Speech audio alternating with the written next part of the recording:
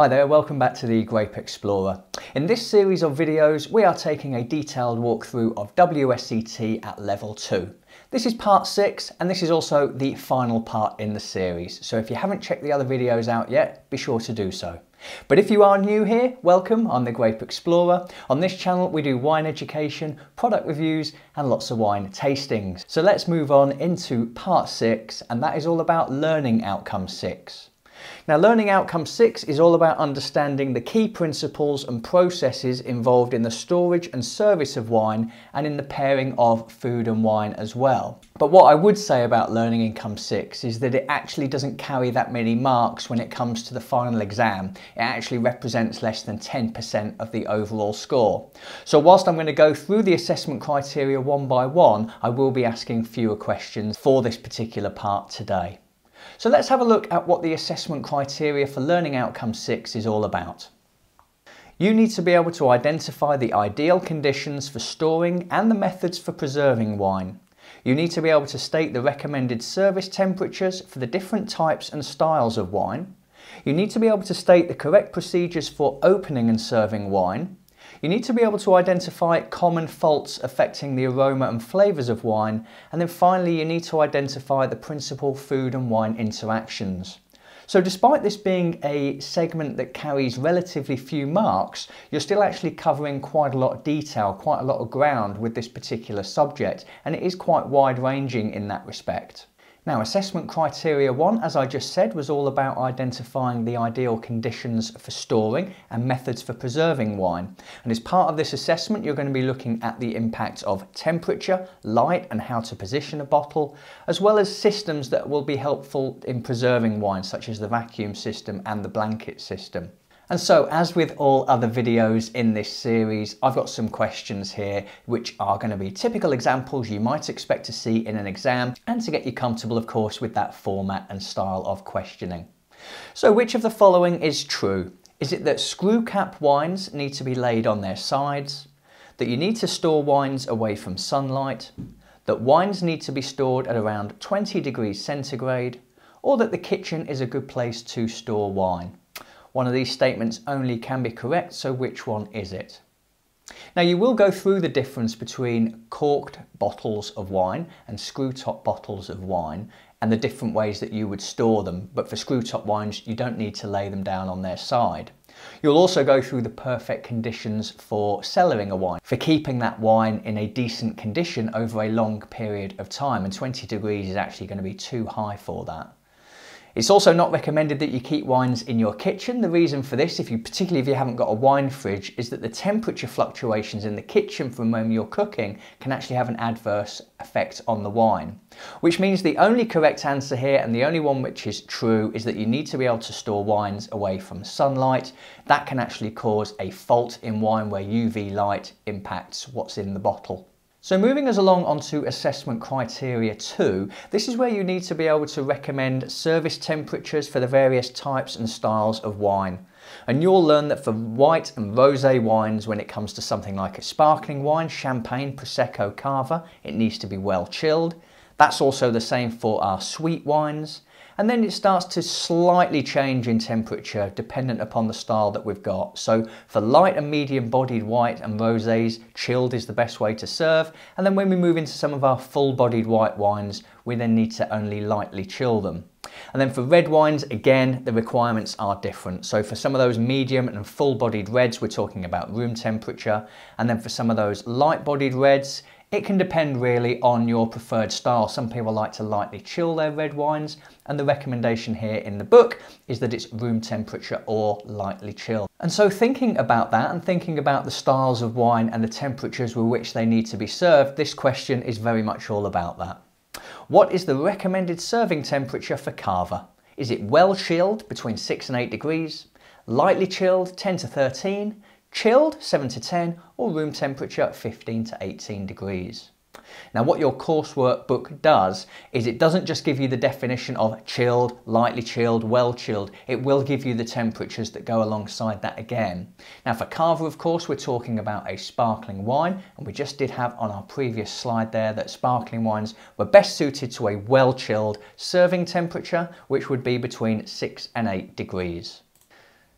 So taking us from serving temperatures to actually serving the wine itself, we'll move on to assessment criteria number three. Now this is where you need to be able to state the correct procedures for opening and serving wines and the processes that you will go through when you're opening a still wine, the processes for opening a sparkling wine, what decanting means as a, as a process and how it can benefit the wine, as well as a number of other things around serving of wine, particularly around your role in checking that the appearance and the nose of the wine is suitable and there aren't actually any wine faults, which we'll come on to in the next assessment criteria. But thinking about some of those processes that we have in place for opening bottles of wine, this next question is all about that. So which of the following is correct when opening a bottle of champagne? Is it that you need to keep the wire cage on? Is it that you need to shake the bottle before opening? Is it that you need to hold the bottle at an angle of 90 degrees? Or is it that you turn the bottle and not the cork? There is, for sparkling wines, a very strict process in order to make sure that you're doing it safely. You need to think about this doing it in the environment of within a restaurant, particularly in front of paying customers. I don't think shaking the bottle is going to do any good unless somebody just won a Formula One race. Similarly, holding it at an angle of 90 degrees is going to be great when you perhaps pour it, uh, but not perhaps when you open it. And leaving the wire cage on, of course, isn't going to allow you to open it at all. So that can only leave one answer, which is that you actually turn the bottle and not the cork. It's really important that you hold it in place and just gently turn the bottle. It prevents the cork from sort of flying out of your hand, damaging glassware, people's eyes in the process. And we'll have a true or false one here as well because we know that the questions aren't always multiple choice. So true or false, red wines are best served in larger glasses. Is that true or is that false? Again, what you'll learn through your studies is that the greater the surface area in the glass, the more your wines have an opportunity to open up. And you've probably noticed when you've been to a restaurant that yourself that for red wines, they do tend to come in a larger glass. And that is to have that greater service area, gets those aromas opening up inside, and just really enhances and improves the overall experience. So that is true. Now moving on to assessment criteria four, and one of the things we covered previously under three was around the importance of checking the appearance and the nose of the wine to prevent serving a wine that it actually has some wine faults. So Assessment criteria four is all about identifying common faults and the aromas and flavours of wine. And you'll cover cork taint, failure of closure and heat damage. Now, if you want to go into more detail about wine faults, I have very recently released a video specifically around the aromas and tastes associated with wine faults, so please be sure to check that one out. But I will ask a question today just to get you familiar with what you might expect. So your wine looks fine, but it has a musty aroma. Why might this be? Is it that the wine is old? Is it that the wine has been affected by cork taint? Is it that the character of the wine is expected to have a musty aroma? Or is it that you've stored that wine in a hot condition? There are, of course, a number of different wine faults that can occur. Some of them can occur during the winemaking process, but a lot of them do actually occur with how we store the wine once we've purchased it. And one of the things that happens when you get something like cork taint is that the cork has allowed oxygen into the bottle and that's reacted with the wine and it actually has spoiled the wine. And those musty, sort of flattened, damp cardboardy type aromas are all as the result of cork taint. So that's the answer here. And finally, we've got assessment criteria number five, and that is all about the principal food and wine interactions. So you need to understand some of the components in food that are going to affect your wine and some of the components in wine that are going to be affected by the food. Now, when it comes to the exam, it's going to be fairly typical that you're going to get the type of question that says, something in food is going to do what to your wine. So to make things a little bit easier for you, I have created a, a table here which does take you through the detail. So food that is sweet, for example, is going to make your wine taste more bitter, more acidic and less sweet and fruity. And that's the same for savoury foods as well. When it comes to salty foods, that's going to make your wine taste less bitter and acidic, perhaps smoother and richer. Acidic food is going to make your wine taste less bitter and acidic, fruiter, sweeter and richer. Highly flavoured foods, of course, have the risk of overwhelming the wine itself. The wine is going to be overwhelmed by those fruit flavours.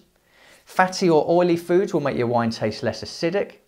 And then hot foods, but by that I mean chili heating foods, are going to make your wine seem more bitter, less sweet and fruity. And so as I say, the question structures here are going to be something along the lines of salt in food will make your wine seem what? And it's really important to go back to that table and to understand the various components in food and how they can impact your wine. So I'm not going to ask any specific questions there. I'm just going to leave that table up for you for a moment because really there are a different number of combinations with which you could be asked that. But do get prepared to have a question that is along the lines of you are eating something that has chili heat in it. What is this going to do to your wine? So this brings our walkthrough of WSET level 2 to an end.